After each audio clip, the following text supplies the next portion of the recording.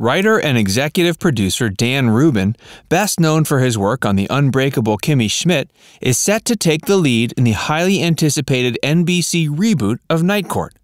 The series, which is still in development, is said to be a direct follow up series to the classic legal comedy series.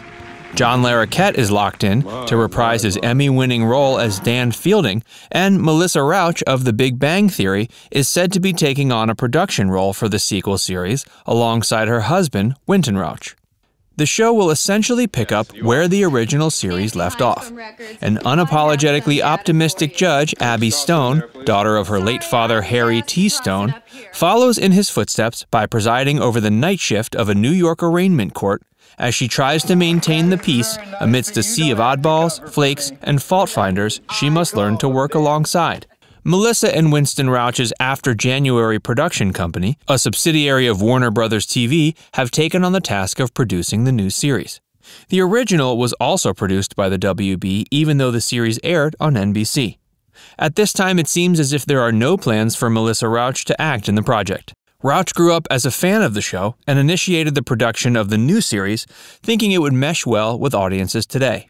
Night Court is just one of several projects in development by After January.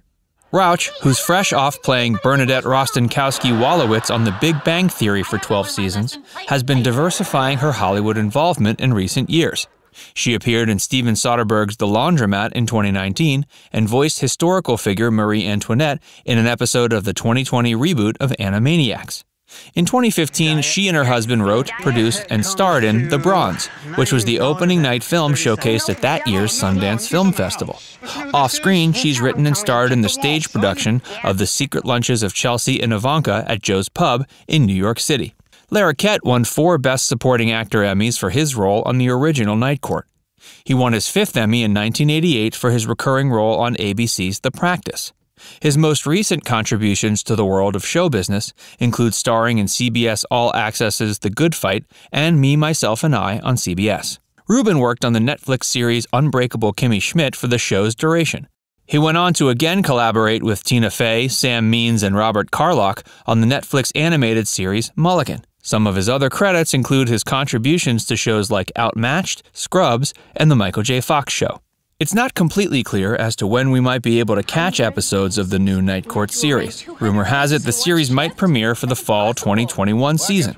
But regardless, we're pretty excited to see what comes next. Hopefully, the new show can find the right balance of staying true to the original series while breaking new ground, exploring new territory. Rebooting a beloved TV series can mean risky business. I mean, have you seen the MacGyver remake? Brutal.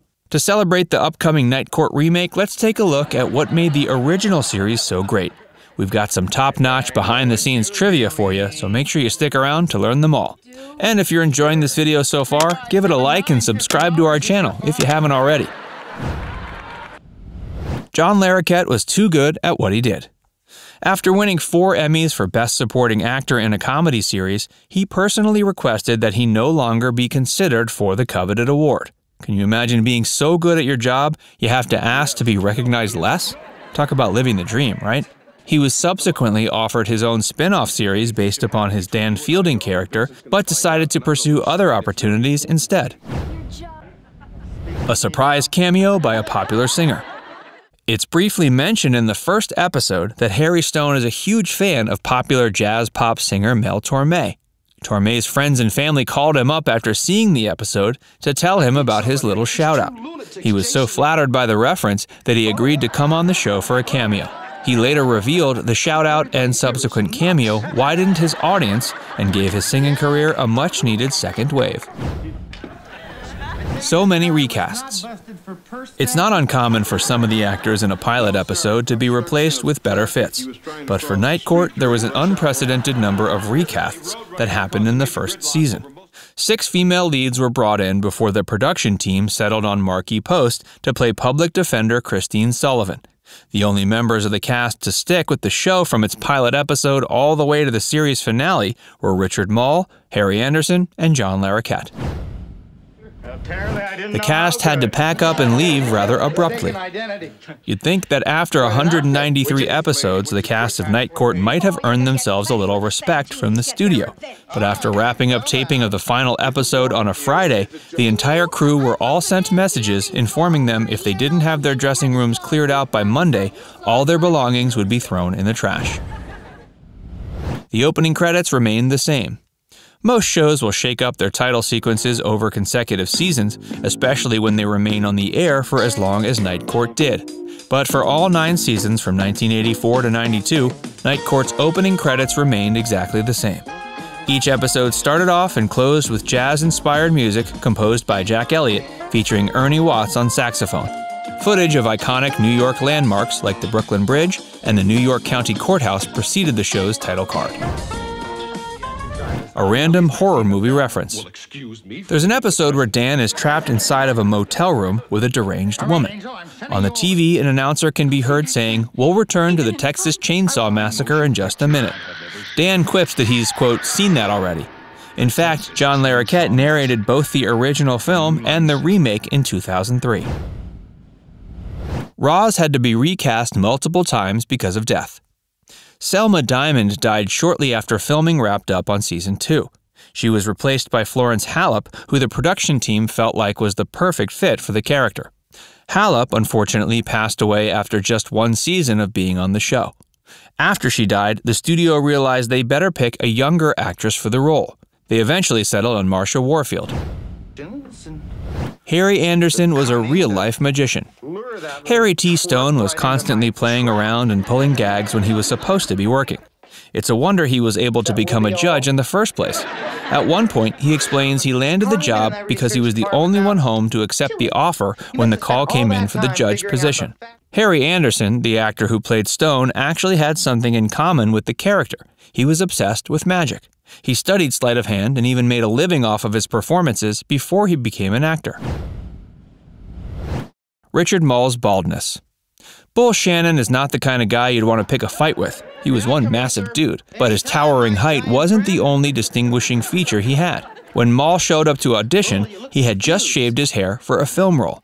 After meeting with the producers, they actually dug the chrome dome look and told him to keep it for the character. Now, most people who have any amount of appreciation for their hair might have found the request to be difficult, but Moll decided to bite the bullet. Sometimes an actor has to make some sacrifices for their work. Markie Post also worked on game shows.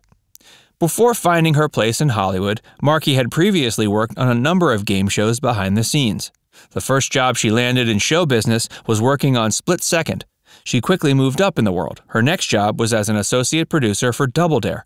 She also worked as a production assistant on Family Feud for a while. In 1979, she got her first on screen role on a made for TV movie called Frankie and Annette, the second time around.